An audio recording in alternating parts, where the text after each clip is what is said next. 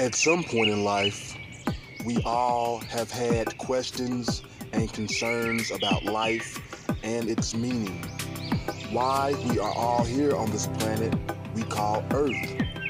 How we can make the most of it. What are we here to learn? What if all the questions about yourself and life in general was right in front of you, behind you, and all around you your whole life? All you had to do is be still and listen a little closer. Look a little deeper.